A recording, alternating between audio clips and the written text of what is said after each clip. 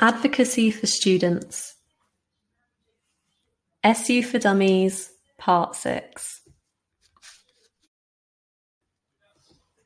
Advocacy for Students The role of students' unions is enshrined in the Education Act of 1994. They exist to represent students and deal with issues within the university that affect its membership.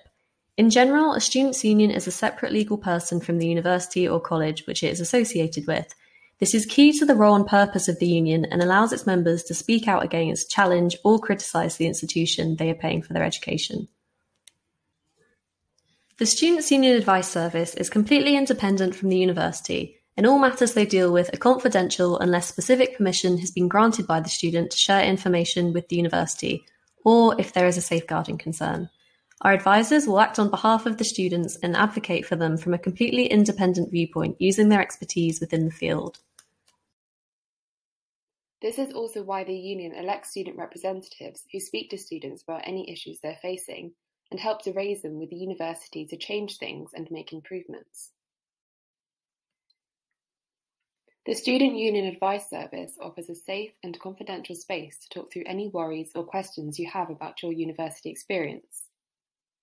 We are independent from the university, so anything you tell us will not usually be shared with anyone outside this service.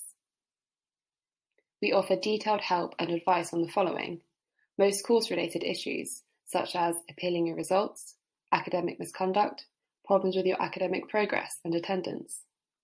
Any concerns you have about quality of teaching, course content, or complaints about wider university services. Housing and tenancy issues.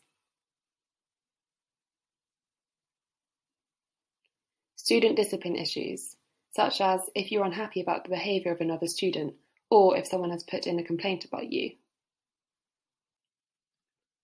This is the end of part 6. Visit our website at www.sussexstudent.com.